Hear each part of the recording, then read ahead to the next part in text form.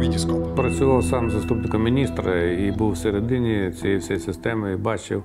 І я тому звільнився за власним бажанням, що я не бачив логіки там втрачати свій час. І туди можна йти тільки для того, щоб отримати зарплату, щоб якщо ти маєш чим більше займатися, то типу робити кар'єру чиновника і рахувати від зарплати до зарплати, відсиджувати, відходити там е, наради ці проводити там. Ну, все те, що вже в рамках е, давно вже від по тих же наїжджених тропах, як кажуть, е, відпрацьовано, і воно нічого не міняється.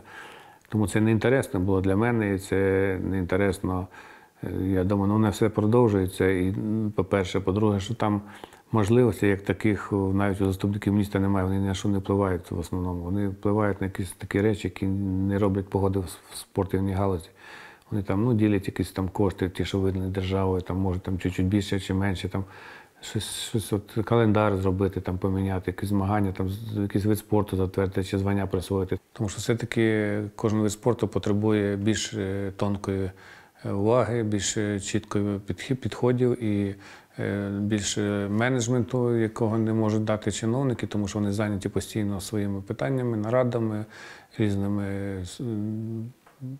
політичними питаннями, і вони не розуміють е, все-таки цих всіх проблем, які існують в командах, існують ну, на нижчому рівні, в спортивних школах і так далі. Тобто там не можна зробити нічого серйозного, тому що це все погоджується з Кабміном, з Мінекономіки, Мін'юстом, Верховною Радою. Тобто це великий шлях, який треба робити.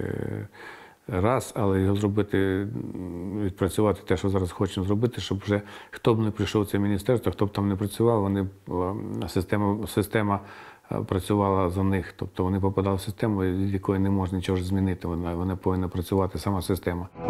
Вітіскоп. Спортивне відео.